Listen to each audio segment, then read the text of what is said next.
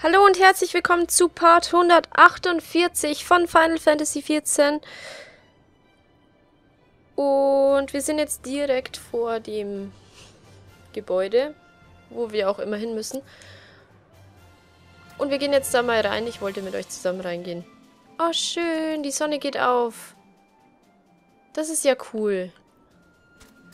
Gleich mal den... Oh nein, das Chocobo-Verleiher, den müssen wir nicht abchecken. Aber den den hier vielleicht. Halt. Gehen wir doch erstmal hier rein. Oha.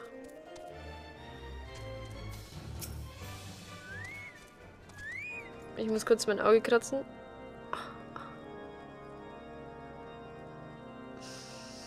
So. Sei gegrüßt, Abenteurerin. Hier in Camp Drachenkopf freuen wir uns stets über Besucher aus fernen Landen. Auch über einen Chocobo, der auf deinem Tisch steht. Wenn ich mir deinen gestellten Körper so ansehe, musst du wirklich einen weiten Weg zurückgelegt haben. Was führt dich hierher? Ja, da gibt es so einiges, das ich dir erzählen muss. Eine Empfehlung von Francel? Er möchte also, dass ich dich unterstütze, solange ihm die Hände durch diese leidigen Anschuldigungen gebunden sind? Dem guten Francel würde ich nie einen Wunsch abschlagen. Seine Freunde sind auch meine Freunde. Sag, wobei kann ich dir helfen?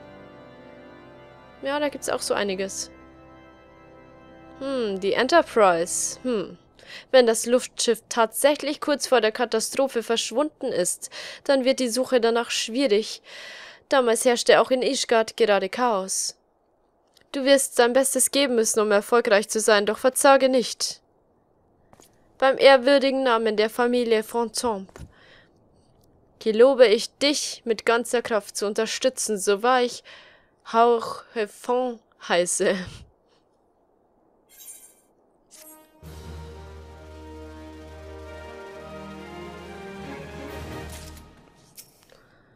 Lass uns reden. Und es... Uh! Es gibt was Neues zum Anziehen, das ging aber schnell. Bevor wir mit der Suche nach dem Luftschiff beginnen, habe ich eine Bitte an dich. Und zwar möchte ich, dass du gegen meine Ritter kämpfst. Ja, du hast richtig gehört, du, hast, du sollst gegen sie kämpfen. Doch nur um ihnen deine unorthodoxe Kampfweise zu demonstrieren. Ihr Abenteurer beherrscht ganz andere Techniken als unsere Ritter. Es kann nicht schaden, wenn sie diese am eigenen Leib erfahren. Sie werden dich vor dem der Westmauer treffen. Warte dort auf sie und du musst dich nicht zurückhalten. Das werden sie nämlich auch nicht tun. Okay. Kopfgeldjagd auf Schneewölfe. Ich will keinen Schneewolf töten. Was gibt's hier? Ja, das muss ich annehmen. Was ist denn das? Karpfenrot. Nee, wir nehmen dann die Schuhe. Passt nämlich dann. Mit Karakul fängt man Oger. Abenteurerin. Bla bla bla bla bla. Oger, Oger, Oger. Oh, ich muss mich erst wieder dran gewöhnen. Sprinten ist ja jetzt hier. Hey, Sid! Ihr seid beide auch da. Alfino ist auch hier. Nicht schlecht. Sid und Alfino sind auch hier. Wusste ich gar nicht. Warum hat mir das niemand gesagt? Ich weiß jetzt nicht, wo ich da hin muss. Wir werden es aber gleich feststellen, das ist falsch. Dann gehen wir so. Ich würde sagen, wir fassen jetzt erstmal den Ätheryt an. Wir harmonisieren uns mit dem Ätheryt. Dann brauchen wir den auch. Die mache ich alle jetzt dann nebenbei. Also es ist was Cooles, dann nehme ich es vielleicht mit auf.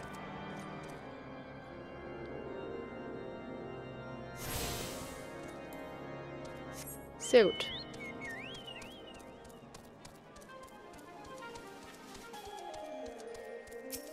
Was hat der? Vielleicht hat der Handschuhe für mich oder so.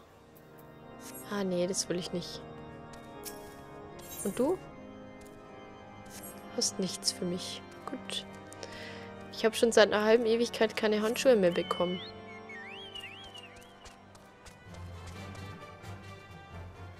Ah, da unten ist einer.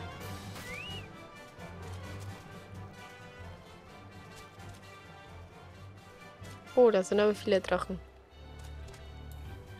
Wir killen aber erstmal den Sebastian.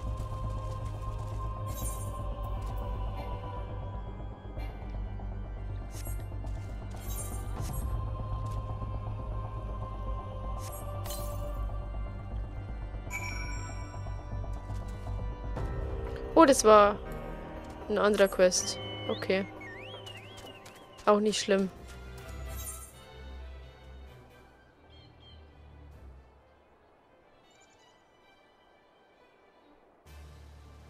Okay, die mache ich später. Ich gehe jetzt erstmal zu dem hier.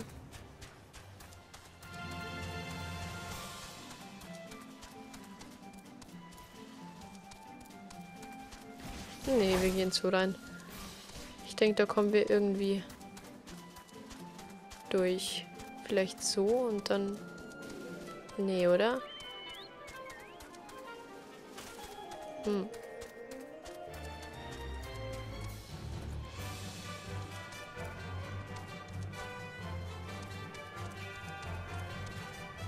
Schon wieder alles so verwirrend hier. Ich kenne mich gar nicht aus. Ich gehe jetzt einmal mal außen rum. Aber es sieht so aus, als würde ich da nicht durchkommen. Wir werden es gleich sehen.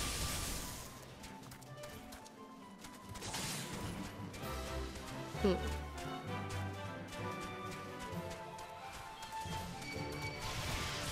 Geh weg. Haha, sie haben mich nicht erwischt.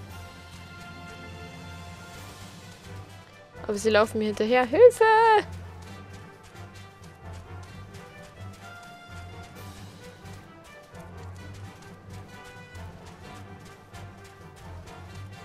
Aber hier sind die Gegner schon ziemlich stark. Ich glaube nicht, dass ich hier hin muss, aber vielleicht ja doch. Ich bin mir nicht sicher. Wir werden es gleich sehen. Ah, ich werde das rausschneiden. Wir sehen uns gleich. Bis gleich. So, und schon bin ich wieder da. Sei gegrüßt, Abenteurerin. Du sollst viel Kampferfahrung besitzen und die eine oder andere ungewöhnliche Technik beherrschen. Ich bin schon sehr gespannt.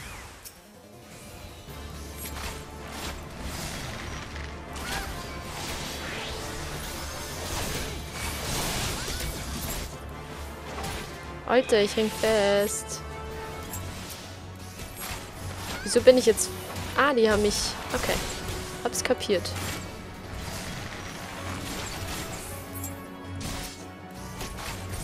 Ach, die haben doch keine Chance. Die sind voll lappig. Zerstör sie einfach so. Haha.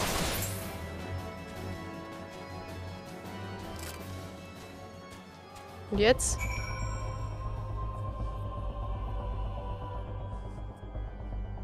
Ach so, wir müssen ihm Bericht erstatten. Dann können wir ja gleich mal gucken, wie wir da jetzt wieder reinkommen. Ach so, das war einfach so. Wieso habe ich das nicht gesehen? Hm. Da habe ich mich wieder blöd angestellt. Naja, egal.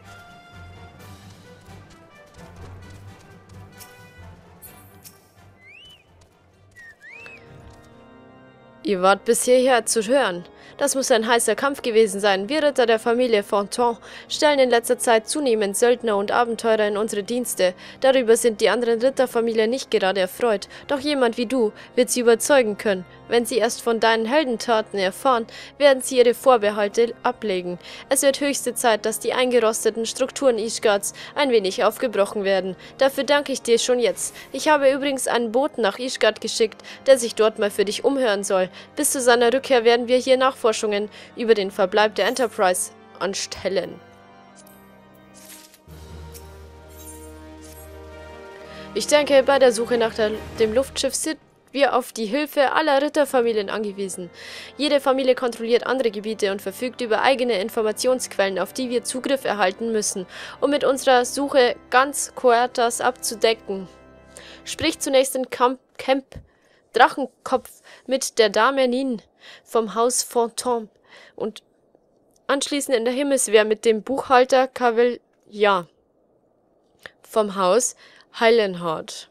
Heil, Heil, Yard. Zu guter Letzt stattest du vor Volmont vom Haus Dur Durandar, Durandar äh, im Observatorium einen Besuch ab. Es ist nicht gut, auf Fremde zu sprechen, aber wenn du ihm sagst, dass ich dich geschickt habe, sollte er mit dir kooperieren. Dann bleibt noch die Familie Zemael. Doch die werdet ihr direkt kontaktieren. Die werde ich Tut mir leid. Also viel Erfolg. Ich weiß nicht, warum ich mich dauernd verlese. Das ärgert mich selbst. Nee, das wollte ich ja nicht machen.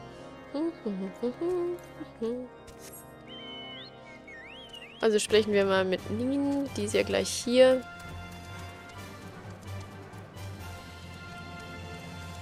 Die habe ich ja vorher schon gesehen.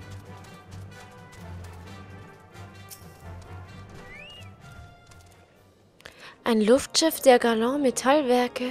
Hm, früher oder später kommen mir alle Gerüchte zu Ohren, die in der Familie von Tomp die Runde machen. Doch von der Enterprise habe ich noch nie etwas gehört. In letzter Zeit reden alle nur noch von den Heretikern. Sogar der junge Francel soll vom rechten Glauben abgefallen sein. Ich bin gespannt, wie die Familie Hellenhardt diese Schande ausbügeln will.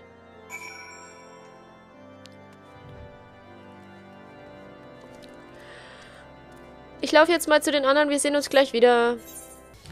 Und da sind wir auch schon wieder mit einem wundervollen Kostüm. Ich muss euch mal mein Outfit zeigen. Das sieht so gut aus. Ich frage mich, was sich einer, ein Mensch bei der Hose gedacht hat. Das hat so gut angefangen. Ich dachte mir, wow, geil, das Oberteil schaut echt cool aus. Vor allem die Farbe ist total genial. Und dann so, bam, eine nicht vorhandene Hose. Und dann dachte ich mir, ey, die Schuhe, die machen es bestimmt aus. Und dann dachte ich mir so, bam, passt überhaupt nicht. Verstehe ich jetzt auch nicht, warum man da so ein Outfit macht, wenn eine Schneewelt da ist. Aber hey. Ah, wie gern würde ich dir und Hauch Fond helfen. Doch ich fürchte, aufgrund der haltlosen Anschuldigungen gegen unser Haus sind mir die Hände gebunden. Angeblich sollen mehrere Mitglieder der Familie Helnard der Heresie verfallen sein. Natürlich entspricht das nicht Ta den Tatsachen, dennoch muss sich die Verteidigung gewissenhaft vorbereiten. Okay. Und ich laufe zum nächsten. Wir sehen uns gleich wieder. Und schon sind wir wieder da. Ha, das sieht den rückgratslosen Feiglingen der Fontomp mal wieder ähnlich. Sich zu Handl Handlangern einer dahergelaufenen Abenteurerin zu machen. Doch nicht mit mir. Wir befinden uns mitten im Krieg und seit der neue Erzinquisitor Guillaume im Amt ist, werden immer her mehr Heretiker enttarnt. Ishgard hat andere Sorgen als ein verschollenes fremdes Luftschiff. Hauchfond täte gut daran, sich an seiner an seine Pflichten als Ritter von Ishgard zu erinnern. Und ich laufe wieder zum Hochfond und wir sehen uns gleich wieder. Und schon sind wir wieder da. Nun, wie ist es gelaufen? Deinem enttäuschten Gesicht nach zu urteilen nicht gerade gut. Das ist bedauerlich, doch durchaus verständlich. Seit hochstehende Adlige der Ketzerei überführt wurden, gibt es kein anderes Gesprächsthema mehr. Nun, ich setze weiterhin große Hoffnung auf den Boten, den ich nach Ischgard geschickt habe. Lass uns auf seine Rückkehr warten.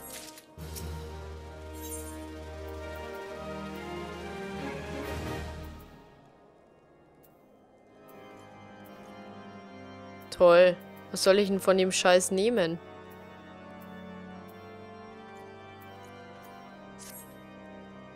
Die Wachen haben mir etwas äußerst Beunruhigendes berichtet. Francel ist mit einigen seiner Ritter in Richtung Stählerne Wacht ausgerückt. Auf Nachfrage hat er behauptet, er wolle einen Drachen erschlagen, der an der Stählernen Wacht marodieren würde. Seltsamerweise ist mir noch nichts über diesen Drachen zu Ohren gekommen. Daher befürchte ich, dass jemand Francel gezielt diese Information zugespielt hat, um ihn eine um ihn in eine Falle zu locken. Bitte geh ihm hinterher und pass auf, dass ihm nichts Schlimmes widerfährt. Mach ich. Aber das machen wir erst im nächsten Part. Ich hoffe, euch hat der Part gefallen. Like, kommentiert, abonniert. Bis zum nächsten Part und tschüssi!